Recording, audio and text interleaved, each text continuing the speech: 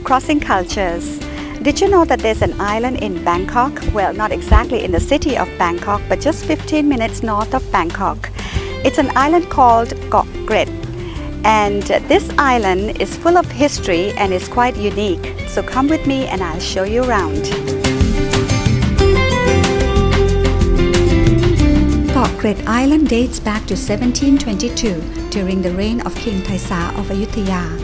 The canal was constructed as a shortcut to bypass a bend in the Omkrit branch of the Chao Phraya River just north of Bangkok.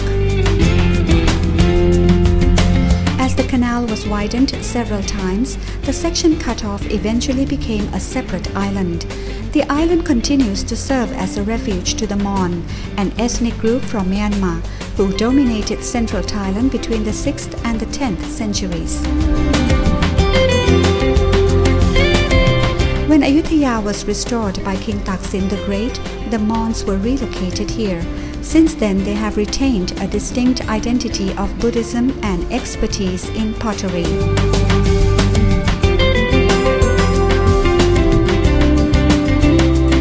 A breezy boat tour around the island will take you back in time. The famous blood red Mon style pottery called Hai is made here.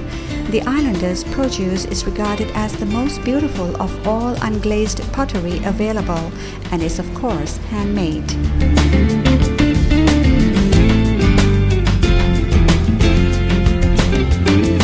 The island is also famed for its Thai desserts or khanom, usually made from eggs, flour, coconut and sugar. Another short boat ride and you reach a batik shop. You can buy hand-painted batik sarongs or paintings here.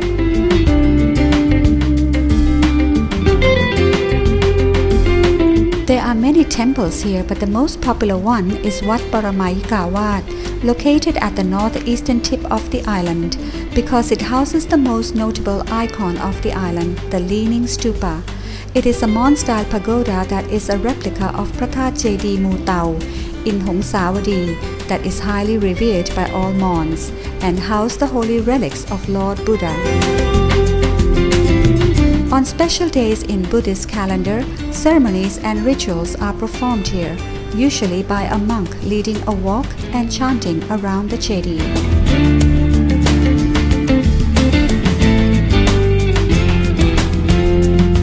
Koh Kret maintains its traditional way of life and tourism is limited. It can be very crowded on weekends, but on weekdays it's calm and peaceful. Most people just come for a day tour, go bicycling, eat and visit the handicraft shops and temples.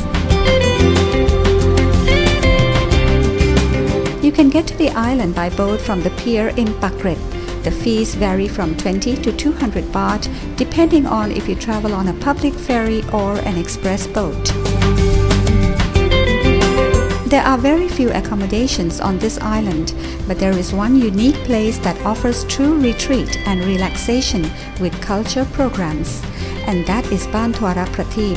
In our next episode, we'll show you some of the cultural programs here.